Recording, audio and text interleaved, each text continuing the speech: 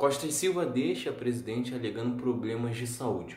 O Brasil então fica governado por uma junta militar por cerca de dois meses, até que Emílio Médici assume em 30 de outubro de 1969 e inicia um dos piores períodos da ditadura militar. É Pilatos lá na Bíblia quem nos diz, e também faleceu por ter pescoço o infeliz autor da guilhotina de Paris. Você já viu aqui que foi Costa Silva que assinou o AI-5 e que criou os doicodes por todo o Brasil.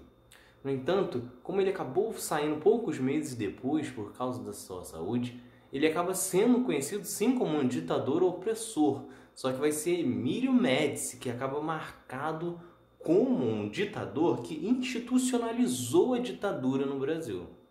Médici assume querendo acabar com toda e qualquer possibilidade de se levantar uma oposição no Brasil ou até mesmo de se fazerem críticas.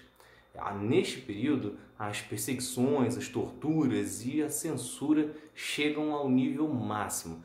Toda e qualquer pessoa que fosse considerada suspeita de conspirar contra a ditadura militar era levado imediatamente para os porões do doicode para ser investigado e muitas vezes torturado. O governo de Médici também investiu pesado em propaganda e o objetivo era deixar claro, não existia espaço para discordâncias no período da ditadura militar.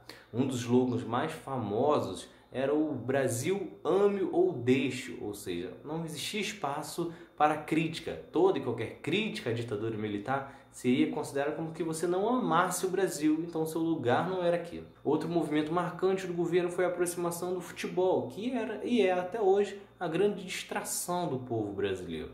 Primeiramente, ele construiu estádios em diversos cantos do Brasil. E em seguida, ele mexeu no próprio Campeonato Nacional de Futebol fazendo um torneio saltar de 20 para 40 clubes. Esse inchaço chegou a ser conhecido como Se a Arena Vai Mal, mais um no Nacional. A Arena que era o partido militar.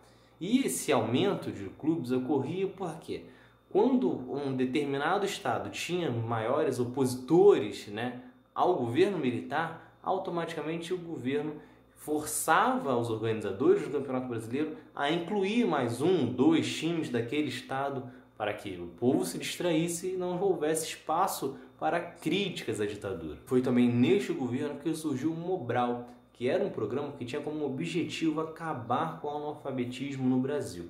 No entanto, o projeto durou quase 15 anos, indo até o final da ditadura militar, e só conseguiu reduzir o analfabetismo no Brasil em apenas 2,7%. Na parte econômica e da infraestrutura, Médici chega a viver uma parte do milagre econômico e, graças a isso, constrói a hidrelétrica de Itaipu.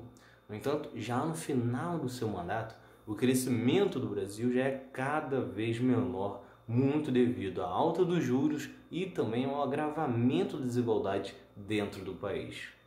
Médici então completa seu mandato em 15 de março de 1974, dando lugar a Geisel. Então é isso. Se vocês gostaram, curtam, se inscrevam, ativem as notificações e continuem acompanhando que tem mais outro lado da história por aí. Valeu!